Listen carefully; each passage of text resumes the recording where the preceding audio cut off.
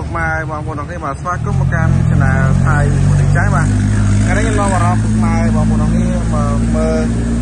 ម៉ាស៊ីនគូបតា ET 140តម្លៃ6លានអឺបានកង់ថ្មីណាបងប្អូននេះមក6លានបានកង់ថ្មីលេខកូដ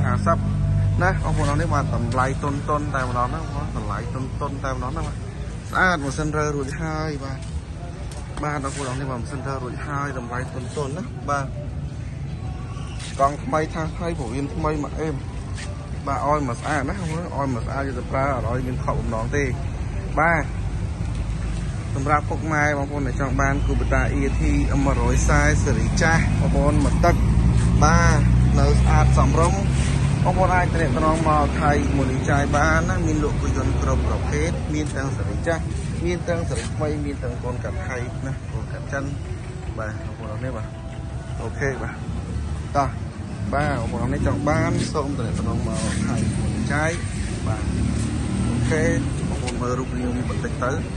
ណាបាទម៉ាស៊ីនរើរួចហើយកុំឲ្យខានពេលយើងដឹងថាកង់ថ្មីថាថ្មីវាថ្មីហើយយើងស្ដាប់សំឡេងវាទាំងអស់គ្នាណាបងប្អូនបាទឥឡូវយើងពិឆេះសិនបើចង់ដឹងតែអឺ